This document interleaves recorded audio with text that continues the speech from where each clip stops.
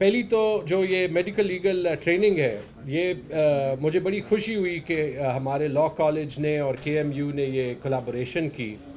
और इस पे मैं ख़ास तौर पे जो हमारे chief justice Peshawar high court है उनको रिकग्नाइज़ करना चाहूँगा क्योंकि उन्होंने एक केस में ये फ्लैग किया था कि हमारी जो मेडिकल लीगल ट्रेनिंग है या जो प्रोसीजर्स है कि उनमें गैप है। बल्कि मुझे खुद भी बुलाया था तो आई होप कि वो भी आज ये रिकग्नाइज़ करें कि इस पर बहुत बड़ा कदम लिया। और इस पर मैं जो हमारे वी सी के एम यू हैं इनको ये भी हिदायत करूँगा कि ये जो आपने छः महीने का कोर्स किया है इसके अलावा और लॉ कॉलेज में भी मैं रिक्वेस्ट करूँगा कि एक एडिशनल आप शॉर्ट कोर्स उन लोगों के लिए जल्द से जल्द इंस्टीट्यूट कराएँ, जो कि ये मेडिकल लीगल प्रोसीजर्स करते हैं। एक हफ़्ते का हो सकता है, दो हफ़्ते का, इससे ज़्यादा नहीं। लेकिन एक रिफ्रेशर क्योंकि सबसे ज़रूरी ये है कि वो लोग जो कि ये प्रोसीजर्स करते हैं, उन सब के लिए मैंडेटरी हो, कि वो असाइंड हो, कि वो वो शॉर्ट जो है वो रिफ्रेशर लें और विद इन वन मंथ ये भी इंट्रोड्यूस जो है वो कराएँ, ताकि ये इन और वो के में ही हो सकता है, लेकिन सारे हमारे ऑनलाइन भी हो सकता है। लेकिन ताकि सबको जो है ये मेडिको लीगल ट्रेनिंग इतनी ज़रूरी चीज़ है ये क्रिमिनल केसेस में कि इसके रिफ्रेशर्स जो हैं वो कंटिन्यूसली हो सकें। एक तो ये बात थी। एक और छोटी बात है, लेकिन मैं चाहता था कि प्रोएक्टिवली जो है वो एक्सप्लेन करें उससे पहले कि उससे कोई गलत सुर्खी बनाए। हमने, चूँकि आपको पता है कि हायर एजुकेशन का एक बहुत अहम कंपोनेंट मेडिकल हायर एजुकेशन है। और हायर एजुकेशन पे मेडिकल हायर एजुकेशन साइड पे जो हम एक पॉलिसी uh, ला रहे हैं उस पर मैं थोड़ी सी बात करना चाहूँगा।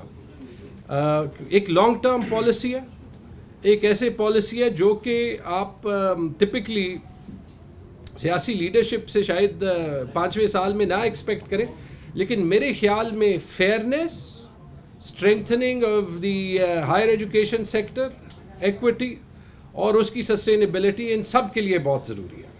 जो हमारी एडमिशन uh, पॉलिसी uh, है फ़ीस और रेट्स के uh, लिहाज से उसका मैं आपको थोड़ा सा ढांचा जो है वो एक्सप्लेन करना चाहता हूँ क्योंकि मैं चाहता हूँ कि इसमें हमें जो है जो हमारी मीडिया की फ्रटर्निटी है वो भी सपोर्ट करें। अगर मैं एक सेंटेंस में इसको एक्सप्लेन करूँ हम चाहते ये हैं कि हमारी जो एडमिशन uh, पॉलिसी हो फ़ीस के लिहाज से वो ऐसे हो कि उसमें कोई भी बंदा, कोई भी बंदा जो है, जो पैसे ना अफोर्ड कर सके, उसको कोई फ़ीस भी ना देनी पड़े। ठीक है? कि और ये इख्तियार मेडिकल कॉलेजेस के पास हो कि अगर कोई बंदा एक रुपये देने की सलाहियत भी ना रखे तो वो एक रुपये भी ना दे। ठीक है? लेकिन कि हम एक सस्टेनेबल फ़ी पॉलिसी भी बनाएँ, जो कि ओपन मेरिट पे 90 परसेंट प्लस सब्सिडी दे, लेकिन जो कि टाइम के साथ आहिस्ता आहिस्ता ज़्यादा भी हो, क्योंकि जो एक चीज़ गलत है और इस पर हमने बड़ी डिटेल डिलिब्रेशंस की। वो ये कि मिसाल के तौर पे ले लें कि यहाँ पे जितने भी लोग हैं, हमारे बच्चे प्राइवेट स्कूल्स में पढ़ते हैं, किसी की फ़ीस पाँच हज़ार रुपये किसी की फ़ीस दस हज़ार रुपये किसी की फ़ीस उससे भी ज़्यादा महीने की। और जब हम यूनिवर्सिटीज़ में जाएँ तो वहाँ पे हम कहें कि यूनिवर्सिटीज़ में जो है, वो कोई भी पैसा जो है, वो ना देना पड़े। देखिए, हमारा जो हायर एजुकेशन सेक्टर है, वो टाइम के साथ बढ़ रहा है। जिस वक्त तक एक या दो यूनिवर्सिटीज़ होती थी हर सूबे में तो ये तो चल सकता था, लेकिन अभी तो पाकिस्तान के हर ज़िले में एक यूनिवर्सिटी है। और ये जो सिस्टम है, हमारी फ़ीस का, ये अगर हम ऐसे ही रखें तो हमारी quality of higher education suffer करती जाएगी और गरीब से गरीब आदमी का इस तक एक्सेस भी नहीं होगा। ठीक है? जो मुझे एतराज़ है वो ये है कि जो बंदा स्कूल में दस हज़ार रुपये महीने का दे सके वो जब अगर मेडिकल कॉलेज में जाए और वो सिर्फ़ साल के दस हज़ार रुपये दे तो इसका तो मतलब कि वो किसी गरीब का हक मा, आ, मा, आ, मा, मा, जो है वो मार रहा है ना? तो ये हमने आहिस्ता आहिस्ता से टाइम के साथ चेंज करना है। इसीलिए हमने एक प्रोसेस लास्ट ईयर शुरू किया कि जो सेल्फ फाइनेंस की सीट्स थी, उनको हम दो तीन साल में एट कॉस्ट तक ले जाएँ। क्योंकि सेल्फ फाइनेंस का तो मतलब ही है कि ये वो लोग हैं जो कि मिनिमम मेरिट क्राइटेरिया को मीट करते हैं, लेकिन जो कि कमर्शली हमारे कॉलेजेस में पढ़ रहे हैं। तो एक तो वो फ़ीस ज़्यादा की और एक जो है वो इनको डायरेक्शन की कि आहिस्ता आहिस्ता नॉमिनल रखते हुए भी ओपन मेरिट की फ़ीस में एक इंक्रीज़ होना चाहिए, जैसे लोगों की तनख्वाहों के साथ होना चाहिए, लेकिन उसमें हर कॉलेज के साथ ये इख्तियार होना चाहिए और जो एडिशनल फ़ीस कलेक्ट होंगी, कि वो स्कॉलरशिप्स दें और अप टू 100 परसेंट स्कॉलरशिप्स दें। ठीक है? मैं आपको सिर्फ़ अंदाजे के मुताबिक जो है वो बताता हूँ कि मेडिकल एजुकेशन पे, क्योंकि ये सबसे एक्सपेंसिव सबसे महँगी होती है प्राइवेट कॉलेजेस की फ़ीस जो है वो देख लें। एक स्टूडेंट पे साल में पंद्रह से बीस लाख तक खर्चा आता है। एक स्टूडेंट पे साल में पंद्रह से बीस लाख का खर्चा आता है। और आपको पता है कि बहुत से लोग जो मेडिकल कॉलेजेस में होते हैं, वो अपर मिडिल क्लास के एलीट क्लास के मिडिल क्लास के होते हैं, उन लोगों के होते हैं, जिनकी वालदेन की लाखों में तनख्वाह होती है। और आई वॉज़ शॉक्ड कि दो साल पहले तक इनकी जो फ़ीस थी, वो साल में बीस हज़ार रुपये थी।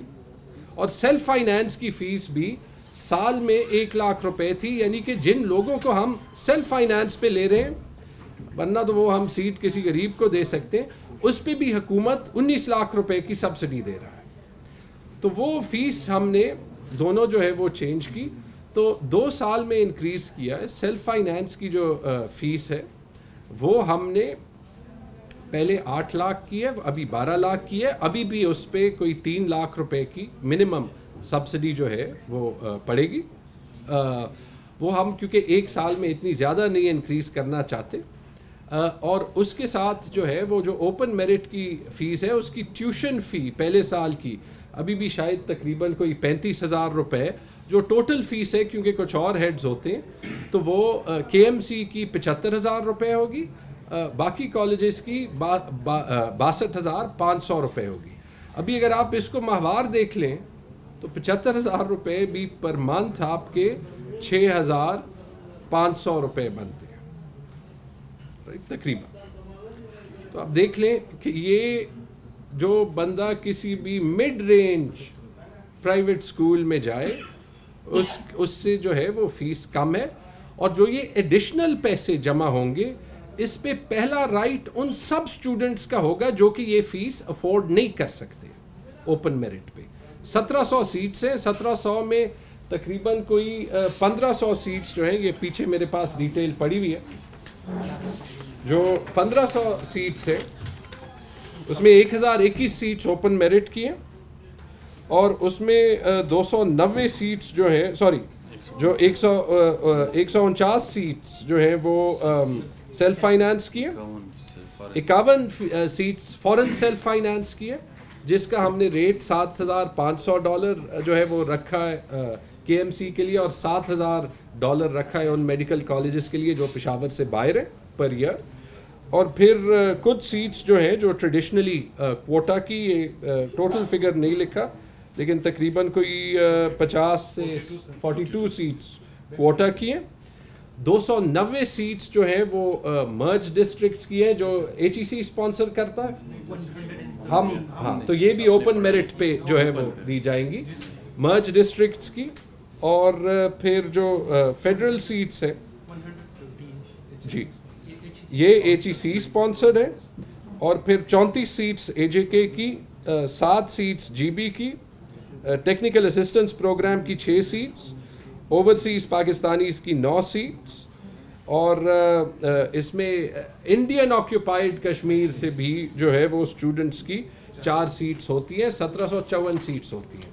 लेकिन इस पर हालाँकि जब हमने मीटिंग की तो मुझे इनफैक्ट स्पेशल सेक्रेटरी साहब ने कहा कि सर ये तो आप कर रहे हैं, लेकिन इस ये तो पॉलिटिकली आपके लिए मुश्किल है। तो हमने कहा, देखें, यही तो हमें, हमारा काम है कि जो काम, कौम के हक में हो, वो हम पॉलिटिकली करें, इसको पॉलिटिकली लीडरशिप जो है वो दिखाएँ। बल्कि मैंने इनको कहा, ये तो आपका काम होना चाहिए कि आप मुझे पॉलिटिकली मुश्किल काम बताएँ। क्योंकि इसमें, और हमने कैलकुलेट किया है कि अगर ये जो स्कॉलरशिप फंड्स हैं, हम तैंतीस फ़ीसद स्टूडेंट्स को नीड बेस्ड पे नीड बेस्ड पे, जो ओपन मेरिट में आए, ठीक है? क्योंकि मैं चाहता हूँ कि किसी भी खैबर पख्तूनख्वा के गाँव से जो भी बंदा है क्योंकि बहुत से लोग ऐसे होते हैं जो ये पचहत्तर हज़ार नहीं दे सकते। लेकिन अगर वो नहीं दे सकते कोई तरीका नहीं था कि उनको जो है वो आ, आ, फ़ी पे स्कॉलरशिप कैसे मिलेगी या फ़ी रिफ़ंड कैसे मिलेगा। तो इससे तैंतीस फ़ीसद स्टूडेंट्स को आप फुली सब्सिडाइज कर सकते हैं। मेरे बच्चों का क्या हक है कि वो जाके अगर मैं उनको लम्स भेज सकता हूँ या मैं उनको आगा खान भेज सकता हूँ कि मैं यहाँ पे उनको जो है वो पंद्रह लाख की तालीम जो है वो पचास हज़ार या साठ हज़ार रुपये में दिलवाऊँ। ये सारा एसेंस है इस पॉलिसी का।